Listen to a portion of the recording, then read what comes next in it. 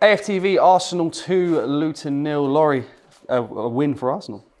Yeah, yeah, it was a win. And uh, listen, first and foremost, we're happy with the win. But I've got to say, it was more functional than Yeah. it was fantastic or fabulous. Um, it was the second half, especially, wasn't very good. Was What, what is it about the second half that people seem to be quite so upset about? Because I personally, obviously, considering the rotation that we had within the squad, I don't think the 2 0 result is necessarily a bad result. I'm, just No, try- struggling to understand. No, no, two 0 is listen. Yeah. At the end of the day, a win is a win is a win. Of course. Um, but I think you, me, most of Arsenal fan base were expecting that after being 2 0 up in that first half Mm. and getting up to 80% possession, you're thinking that in the second half we're really going to drive it home, which we didn't. And to be fair to Luton, um, you know, I mean, they put a shift in, they're organised, they did their best, but let's be honest, man, it's about levels, isn't it?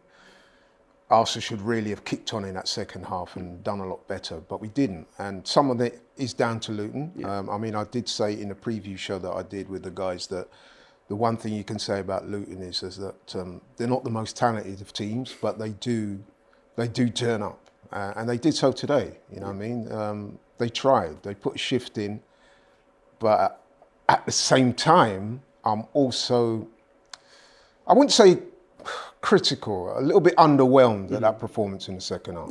Would I think that's fair to say. Would you say it was a little bit of, in a way, complacency from Arsenal? You know, going 2 0 up, getting comfortable. To be honest, we've seen it in the past, a very dangerous scoreline. Do you think it's a little bit of complacency from Arsenal?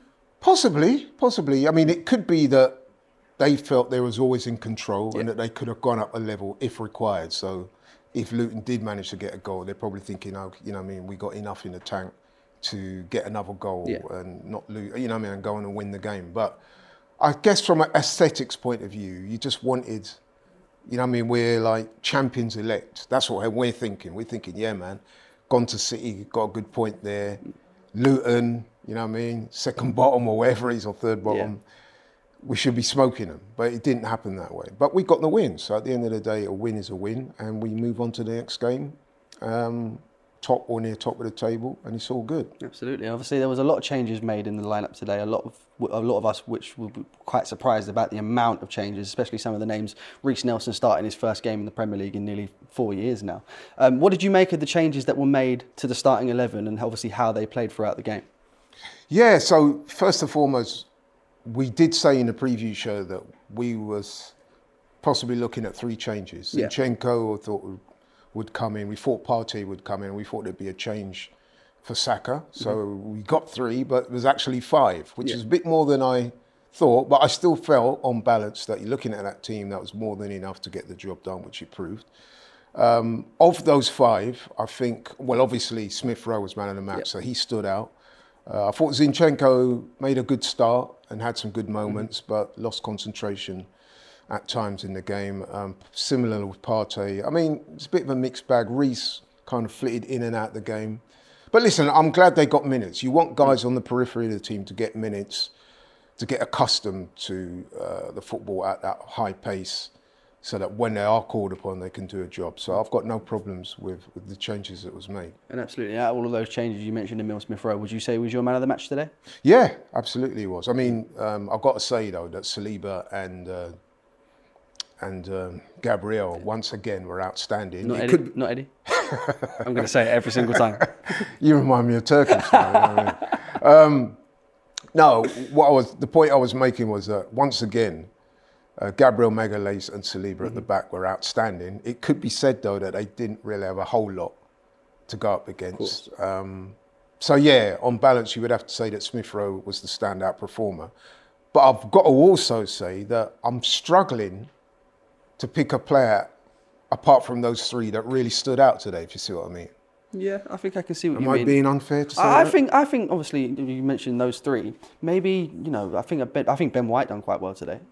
Yeah, yeah, he, he didn't play badly. I mean, no one really played badly, but Yeah. I'm saying in terms of standing out, I think Smith Rowe was the obvious one, and of course, like I said, the back two, um, you know, what I mean, were, you know, I mean, as meticulous and you know, what I mean, as outstanding as they've been all season. Of course, absolutely. And obviously, a win today puts us to back at the top of the Premier League table. How confident are you going into this final run of games that we've got? You know, if you look at the three teams, we've probably got the hardest run out of each mm. team. And obviously, we're top of the table now. We have to see, wait and see what Liverpool do against Sheffield United, which you'd expect to be a win. Obviously, we've seen stranger things in the past. But how confident are you for the remainder of the season going forward? I, I'm reasonably confident. Yeah. I must admit, my confidence level went up a little bit after the City game, and I'll tell you why. Because going to City, a game like that in the cauldron, a high-profile game, we we it was a, a it was a game on the line for both teams, and to see the way we handled that, I thought that was very impressive. So when I saw the way we coped with that, that gave me the confidence to think, yes, this team are, are capable of going on and lifting the Premiership in May. However, we're up against two outstanding teams as well, and it's going to be back and forth, man. You know what I mean? I, I really do think it's going to go down to the last week, but I reckon we've definitely got a shout. Absolutely. And ju- 100%. just to round things off as well, we've got the game coming up against Brighton on the weekend, and then the big one midweek against Bayern Munich in the Champions League. It sounds so strange to say that again, but you know, to me, they're all big games, bro. All big games, All of them. Even tonight, big Yeah. game. I said it before the game uh, today, tonight even. Um, you can't overlook no teams, especially at this business end of the season where there's so much on the line every game. Every game is a big game. Yeah. So, and we have to treat it as such. We can't afford to be complacent. Can't afford to overlook anybody. Can't afford to be overconfident. We've got to be professional uh, and get the job done. And we did that today. We weren't outstanding. Like I said, it was functional more than fantastic. But hey, at the end of the day, we, we achieved what we wanted to achieve, Yeah. which was a win. Kept a clean sheet, got the three points. We go again Saturday. absolutely. And obviously, you're not going into that game against Brighton with any sort of concerns or anything like that. Uh, not really, no. Okay, because um, listen, all the games are different. Today's game was very different from the City game.